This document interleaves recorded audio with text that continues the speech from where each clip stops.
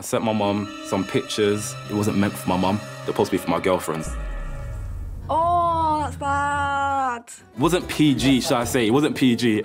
No. What type of pictures are this? This is not appropriate. I would just block my mum from my life.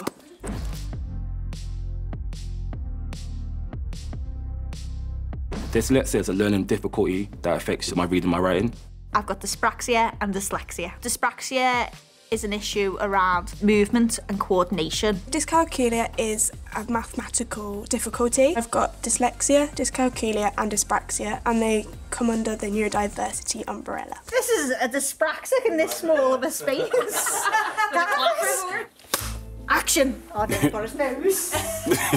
Having dyslexia, the words jump quite a lot.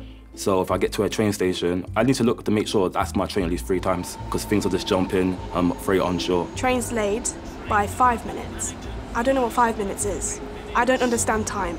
So when it's like five minutes or 10 minutes, I'm like, how am I, what does that mean for my journey? And at the airport, it doesn't help that every five seconds it changes. It's a nightmare. and the writing's tiny. Who's, who's vision's 2020?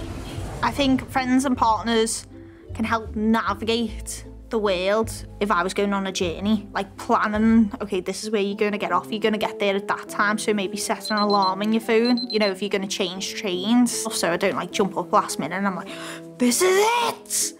Little things like that that would make like a huge impact. I can't take phone numbers down. Um, when someone's like, this is the phone number, I'm like, what? What are you saying? And then I would write the wrong number down and then probably call the person back and it's probably not this person. And it's really awkward. The fact, the figure's just like, it's like the dancing in the air. That's how I can see it sometimes, they're not clear. I can't remember names. So if you've got a massive like name tag on your forehead, I'm sorted, I can't remember names at all. And that's just a very dyslexic thing. the whole thing about dyspraxia is like movement and like coordination and I've always been bad at dressing myself. There was one point uh, where I was 18 I had this dress I used to love and I lent it to a friend and she was like why'd you wear this as a dress? And I was like, what are you talking about? And she was like, I thought it had like a nice little flap on the side. No, it turns out the flap was an extra leg. And I've been putting two legs in one leg hole. Are you sure, Lizzie? I have really good and bad days, but on a bad day, it feels like I could just, I just want to be in a corner and not talk. I just want to be mute and I get very frustrated when I can't speak. It, it feels like when you have a bad day, everything just shuts off. So when I go food shopping, it's a bit, bit stressful. I try to bring a shopping list, but that even stresses me out more because I have to like try and find the aisles. I've got to try and find what like how much money I've got. I get really muddled up with the numbers. So when my boyfriend goes shopping, he's got great patience. For example, I put something in the trolley. He's like, okay, so that's going to be like two pounds. So he put it all in. He calculates it. We work as a team, basically. Yeah, he's a great ally. Patience, patience, patience. For me, it's just like patience, understanding, and realising that we're human and we're not robots. I came in looking like a potato. Now I look like this. A Maris Piper, at least. Because I'm very blunt in text messaging, people think I'm being rude, but I'm not. It's just the way my brain does things. It's very black and white. I always just talk so much on voice notes. Voice notes are good. Voice notes are my friend because there's sometimes text messaging is that when I can't get my point across, voice, voice notes are good. I've got a habit of sending messages to people and then deleting the messages on WhatsApp. Well, I've sent my mum messages that weren't supposed to be for her. They're supposed to be for my girlfriend, so... No. It wasn't PG, should I say? It wasn't PG. Oh, that stresses me out.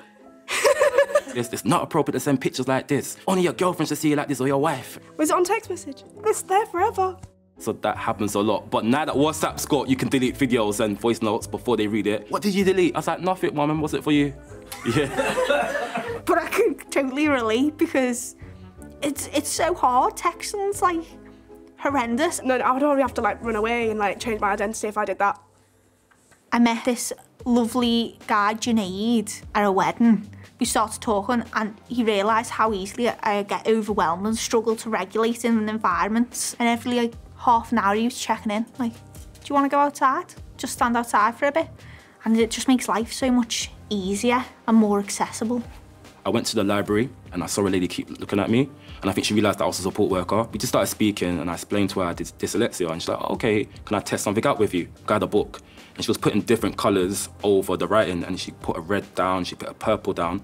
But then she put a green down and the green was perfect. Letters didn't jump and it was just very, very clear. And ever since then, now when I read, I put the green lens over the book, and it helps let's not jump.